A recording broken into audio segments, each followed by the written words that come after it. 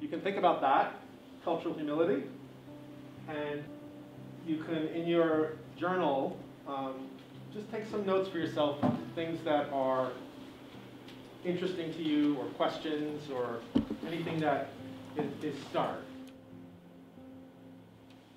we all have at least that knowledge.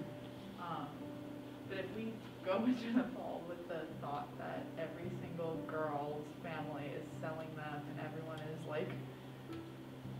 supporting this horrible thing, we're not gonna do much good. Right, right. Yeah, so trafficking, every, all- every girl is trafficked, everyone is poor.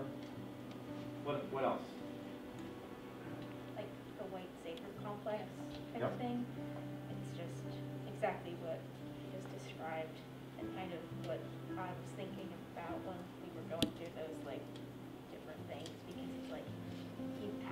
avoid that in order to create any good Right. anything out of that. part of the culture.